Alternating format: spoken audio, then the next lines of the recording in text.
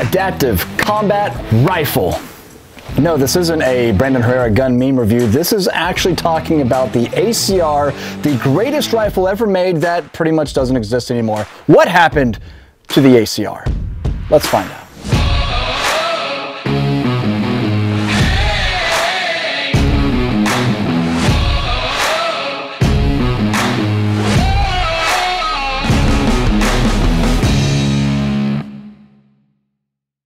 Welcome back everybody. Clinton today with Classic Firearms here to talk about yeah, what I believe was a fantastic rifle and had a lot of potential, but just ultimately due to circumstance and timing, it it just it it just failed ultimately.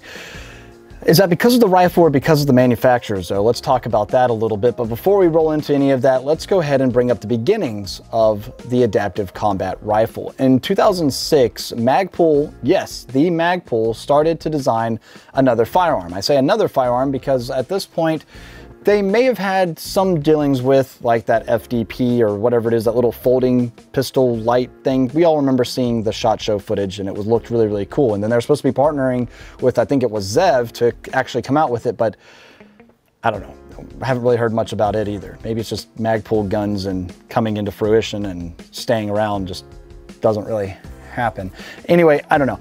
So in 2007, Magpul released the, the Masada, and not to be confused with like the IWI Masada or anything like that. No relation whatsoever, but the Magpul Masada was the short stroke piston driven modular 556 gun that had ambidextrous controls and had a lot of potential and a lot of promise for the future. However, Magpul, they're not a firearms company. They're not a firearms manufacturer. So what they needed was somebody to help with the manufacturing and production of the Masada. So they partnered with Remington and Bushmaster to make what they called the Adaptive Combat Rifle or the ACR. Now with all that being said, you're probably wondering why two manufacturers? Well, Remington would handle the military and law enforcement side of things with the select fire version of the ACR, and Bushmaster would handle all the civilian semi-auto sales, or I should say semi-auto manufacturing of their ACR. Okay, cool, fair enough. So after it was released, or at least shown at SHOT Show in 2007, after much anticipation, it was finally released to the public in late 2010. And, well, people loved it. It was a cool gun. It was something unique, something different than what was already out there. And yeah, it did pretty well initially, except for one really big thing, the price. Magpul suggested the retail cost on the firearm be anywhere between 14 to $1,500. And once it actually hit the shelves, it was closer to 2,600 to $3,000. So thinking you're gonna get this really cool, innovative, futuristic, modular rifle for $1,500 on the high end is actually coming out for double that at closer to $3,000. So strike one there if you ask me. Strike two is soon after it was released, there was also a recall because some of us might find this to be a fun little moment of time. Uh, when the gun would actually be fired, you'd be thinking you're shooting semi-auto, and then all of a sudden it would go into full auto. Well, that's a spicy time, and even though a lot of us would probably appreciate it, the ATF not so much, and they had to issue that recall to fix the guns. Pretty much strike two. And then the third strike came when the United States Army was looking at, well, replacing the M4 M16.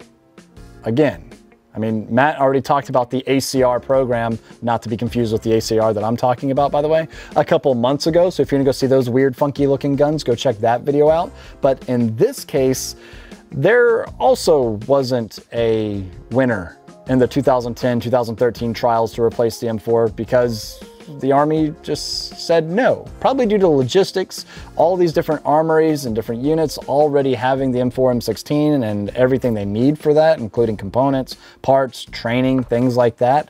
Okay, logistically, it just didn't make sense to replace it at that point in time. Maybe if we were facing an adversary where the 5.56 cartridge or the M4 and M16 truly is becoming obsolete and we're finding it to actually become a very cumbersome weapon system to work with in a really harsh environment, which sometimes we are, but for the most part, it works very, very well. So it's not that bad. That was one of the promises of the ACR was that it was going to be a super reliable system, especially with the adjustable adjustable gas system, to where you could, you know, tune it up if it needed to be shot under much more inclement environments or if it was super dirty or something like that. Also, it being a short, uh, short stroke piston driven design would shoot cleaner than a DI gun like the M4 M16. So.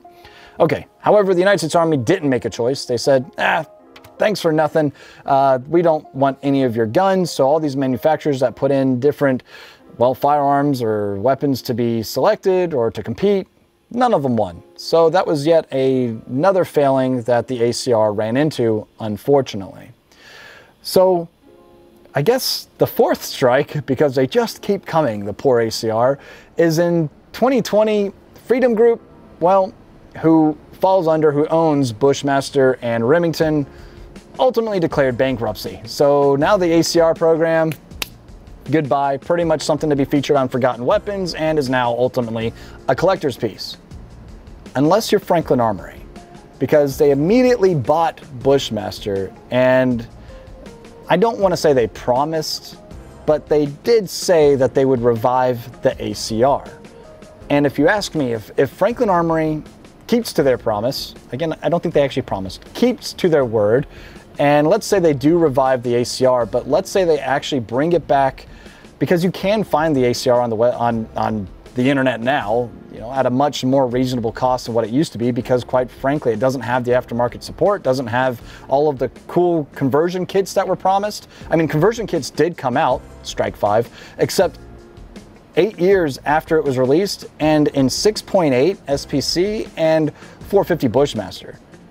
To be quite frank, nobody freaking wanted that. Everybody wanted a shorty 300 blackout and different barrel lengths of 5.56 kind of like what they promised the United States Army, having the CQB model at 10.3 inches. Uh, they had the 14.5 carbine model. They also had the 18-inch DMR model. Oh, and they also promised it being able to shoot 7.62 by 39 out of an AK-47 magazine just by switching the lower receiver, which is not the serialized part of the gun. So it's just an accessory, a affordable polymer piece to the gun that also had an integrated grip so if you wanted to switch the grip out, it's not like it takes AR grips. You'd have to switch the whole lower receiver out. Again, not a big deal, but modularity, yes.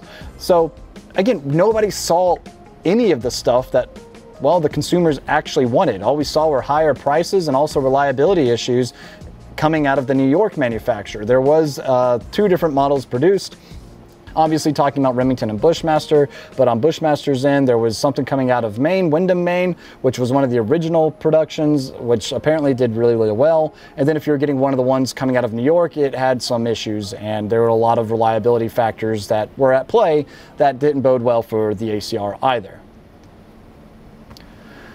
However, going back to Franklin Armory. Franklin Armory, who we all know and love because they bring us the binary triggers, which are a lot of freaking fun, if they can actually keep to Magpul's original suggested retail price of anywhere between 1500 14 to 1500 I'd even say $2,000 is acceptable if they really actually improved the ACR. Still let it be that short stroke design, but also keeping that QD barrel design, which is really, really unique because all it is is you remove the rail, again, completely toolless, you remove the lower section of the rail, and it has this little piece, this handle that actually collects, connects to the barrel, you rotate that and then the barrel pops out. It's a really cool design and allows you to, well, do different barrel calibers or uh, barrel lengths and different also calibers. Again, just like that. Then you switch out the receiver to accept whatever magazine you need it to do, if it needs to even have that done. But ultimately, the barrel and the bolt face, and you're ready to rock and roll. Okay, cool. If Franklin Armory can do that, and also make the lower receiver take AR grips because let's be real, who, I mean, you know what I mean? so I feel like there's still potential for the ACR to be revived, but at this point, is it even worth it? Because there's so many different guns on the, on the market now that pretty much do the exact same thing this gun does. But I think honestly it would have a winning chance if it was the price point and if it came with the binary trigger. I mean, I'm just saying, all right? So let me know what you guys think down in the comment section below. Do you think the ACR was actually ever, if it wasn't for maybe financial issues. But if it was just based off the gun alone, do you guys think it had a chance of succeeding in the civilian market at least? Obviously, in the military market, eh, not so much. But in the civilian market, I do believe it actually had a chance. Again, it's innovation, unique design, modularity, the conversion kits, if they actually ever came out in the time and what they what the people actually wanted, this gun had a lot of potential. Just mismanagement, misuse of funds, or I don't know, whatever. The gun just didn't succeed at the end of the day. But I hope it can be revived, like Franklin Armory says. So I'll leave it off there, guys. I'll see you down in the comment section. ACR, good, bad, indifferent? Do you want to see it come back or do you think it should just stay in the history books? As, as far as forgotten weapons go and anything else, I don't know. Let me get, let me know what you guys think there. And don't forget also uh, to tune in Monday nights, Wednesday nights for our weekly live streams. I'm usually on Mondays if I'm not too busy, or I'll make you know might make it up on a Friday or something like that if I can't stream on Monday. And then Kaya, you can talk with on Wednesdays, so feel free to tune in there. And we do stream to YouTube, Twitch, uh, X, formerly known as Twitter. Are, are, we still calling it Twitter? I, am still calling it Twitter I, until I'm told not to. Anyway, uh, and sometimes Facebook, but Facebook doesn't like us that much. So sometimes we have our page, sometimes we don't. But Rumble also. So like, comment, share, subscribe, all that type of fun stuff. And the last big important thing is if you haven't visited CF Contest this week, cfcontest.com, I highly suggest that you do because some of the guns that I've mentioned, well, quite a few of the guns that I've mentioned in today's conversation have been featured at the website if they're not currently being featured right now at cfcontest.com. So don't miss out on that, guys. As always, we appreciate you. God bless, and we'll see you next time at Classic Firearms.